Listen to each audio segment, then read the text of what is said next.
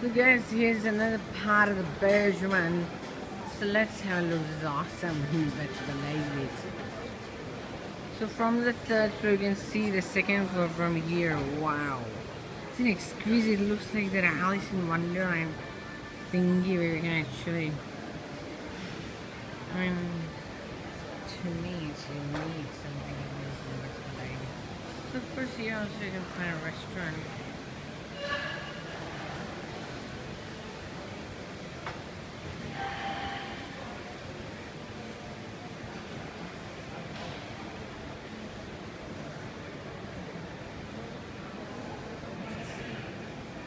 And there's the perfume. man. It's a perfume.